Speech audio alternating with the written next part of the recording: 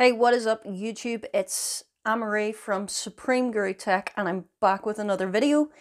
In this video, we're going to be looking at the swipe actions that you can use in Gmail. So if you've never seen these before and you're not quite sure what I'm talking about, or if you have seen them and you're not quite sure on how to set them up, then stay tuned to this video. So what we're going to do first and foremost is open our Gmail application on our phone. And in here, we are going to tap on the three lines in the top left hand corner. And we're going to scroll right down until we get to settings. Now in the settings here, you can see we have a few different options, but what you want to do is tap into the general settings. And then here you can see it says swipe actions. So you can configure swipe actions to quickly act on emails in the conversation list. Doing this makes you get through your emails a lot quicker and it's something that I do need to work on a bit more. But I'm just going to show you how it works. So you get two different swipe options. You get the right swipe and the left swipe. So we're going to go into the right swipe and I'm going to change this to delete.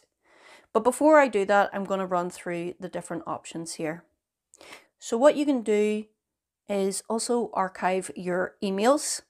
What that does is basically store away your emails that's out of sight in your inbox, but they're not fully deleted. Then you obviously have the delete option, which is self-explanatory. It deletes an email.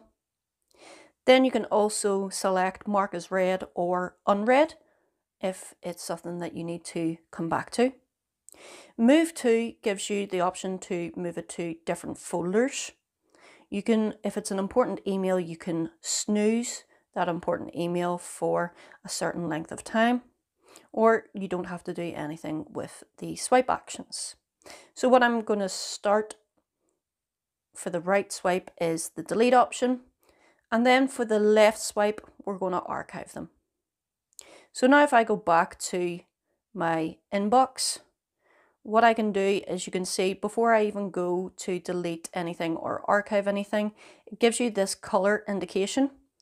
So the red is for the delete and the green is for the archiving. And if I fully want to delete this email, all I have to do is swipe and you can see that is deleted. Now if I want to archive an item, I just swipe from the right and that will archive a email for me. If you do want to see where your archived emails are stored, you can go to them in the all mail section. You can see those two emails that I archived are still there. So guys, if you found this video helpful, be sound and give it a thumbs up. If you want to see more videos like this, then why not subscribe to my channel.